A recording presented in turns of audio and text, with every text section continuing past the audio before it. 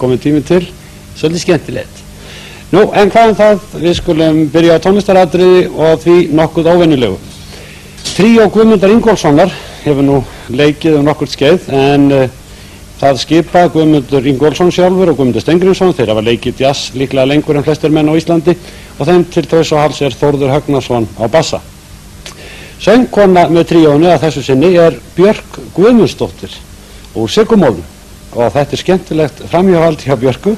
Þau syngja þarna lag sem er alíslenskt og uh, við skulum bara bjóða þau velkomin. Björk Guðmundsdóttir og tríó Guðmundar Ingólfssonar. Fyrir þess.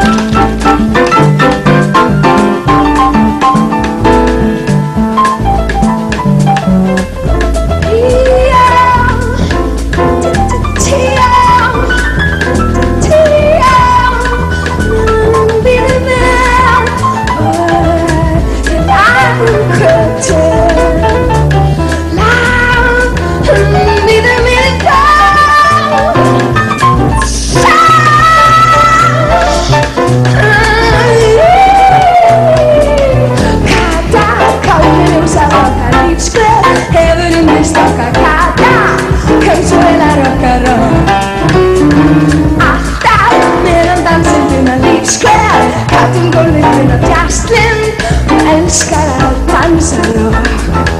Més mal no prou, et vindreu a per un tant sol un cop.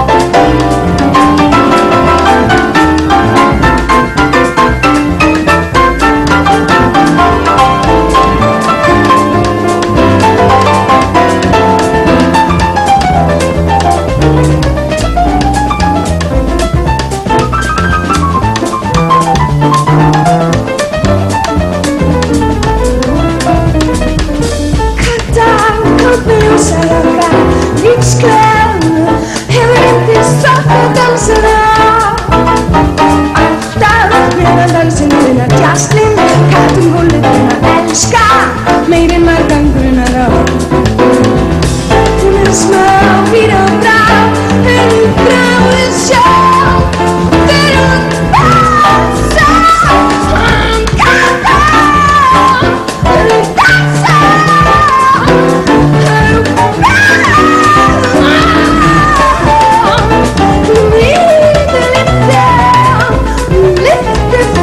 mirror.